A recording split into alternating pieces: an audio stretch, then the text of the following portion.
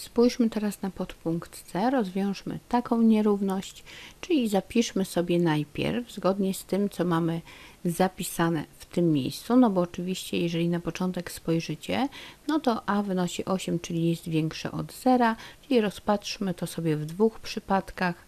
Mamy 2x plus 4, to będzie, zmieniamy znak tutaj, czyli dostawimy minus, czyli to będzie większe od minus 8. Ten znak przewracamy na prawą stronę i zobaczcie, dzięki temu widać, że otrzymamy i. Możemy zapisać albo po prostu literkę i, albo w ten sposób symbolem matematycznym. No i w drugim przypadku to będzie 2x plus 4 po prostu jest również mniejsze od 8. No i tak, przenosimy sobie czwórkę na prawą stronę. Minus 8 odjąć 4 to minus 12. Dzielimy obustronnie przez 2, czyli x będzie większy od minus szóstki. Tutaj czwóreczkę także przeniesiemy. 8 odjąć 4 to będzie 4, podzielę przez 2, czyli x jest mniejszy od 2. No i zaznaczamy to sobie na osi liczbowej i odczytujemy rozwiązanie. Mamy minus 6, kółeczko otwarte i liczby większe od minus szóstki nas interesują. Tutaj mamy dwójkę, kółeczko również otwarte, no i liczby mniejsze. Otrzymaliśmy o, taką część wspólną, czyli x należy do przedziału obustronnie otwartego od minus 6 do 2. Podpunkt D bardzo podobnie. Oczywiście to, co mamy tutaj w wartości, możemy sobie zapisać jako x plus 1 trzecia. Jest to mniejsze od 1 drugiej.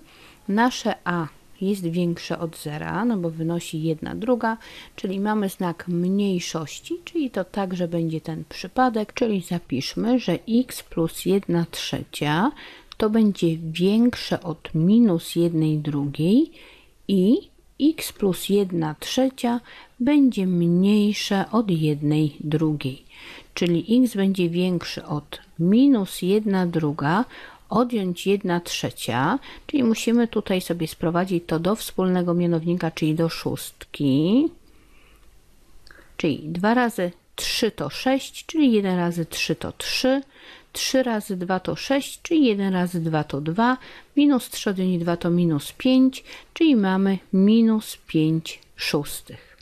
No dobra, tutaj przenosimy także sobie 1 trzecią na prawą stronę.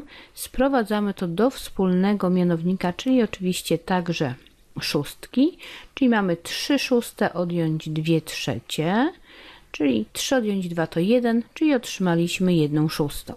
Narysujmy sobie to na osi liczbowej, czyli mamy minus 5 szóstych i kółeczko otwarte oraz 1 szósta i kółeczko także otwarte. Liczby mniejsze od 1 szóstej będą w lewą stronę, a liczby większe od minus 5 szóstych w prawą. Czyli rozwiązaniem będzie taka część wspólna, zapiszmy.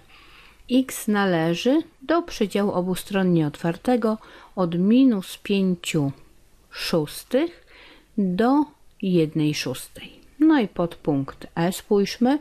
No tutaj możemy to sobie zapisać, zobaczcie, w taki sposób. Podejrzewam, że ten wzór już znacie, czy z innych nierówności, czy z równań. Jeżeli mamy odległość między liczbami a i b na osi liczbowej, to musi być ona taka sama, jak między liczbami b oraz a. Czyli to, co mamy tutaj, możemy zapisać jako 3x odjąć 6 jest to mniejsze bądź równe 9. No i teraz możemy sobie zapisać, że 3x odjąć 6 będzie większe bądź równe minus 9 i, bo także w tę stronę to sobie obracamy, 3x minus 6 już bez zmian mniejsze bądź równe 9. Rozwiązujemy, czyli 3x jest większe bądź równe minus 9 plus 6, czyli to będzie minus 3 oczywiście. Obustronnie dzielimy przez 3, czyli x będzie większy bądź równy minus 1.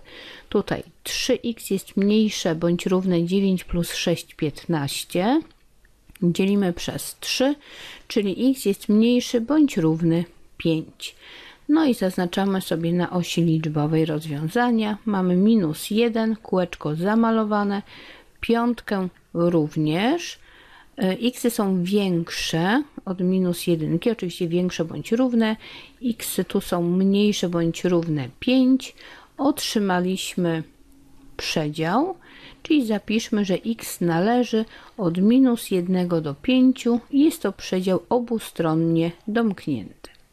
No i pod punkt F spójrzmy, czyli 1 trzecia x odjąć 1 będzie większe, będzie to większe bądź równe minus 7.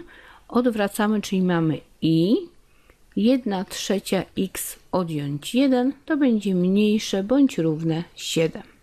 Minus 1 przerzucamy. Minus 7 plus 1 to minus 6. No i żeby pozbyć się tej 1 trzeciej, to dzielimy obustronnie przez 1 trzecią. Zatem mnożymy przez odwrotność, czyli 3 pierwsze, czyli po prostu przez 3. 1 trzecia razy 3 to 1. 1x to po prostu x, a minus 6 razy 3 to minus 18. Tutaj 1 trzecia x jest mniejsza bądź równa.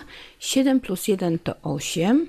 Tu także pomnożymy przez 3, czyli 1 trzecia razy 3 to będzie 1x, czyli x. A tu mamy 8 razy 3, czyli 24. Zaznaczamy na osi liczbowej. Mamy tak, minus 18 i tutaj kółeczko należy zamalować, bo mamy znak większy bądź równy. Tutaj mamy 24, również kółeczko zamalowane. No i liczby mają być mniejsze bądź równe 24 oraz większe bądź równe minus 18. Otrzymaliśmy taką część wspólną.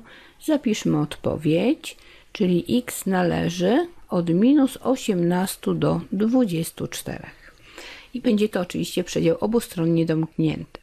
No i spójrzmy na dwa ostatnie przykłady.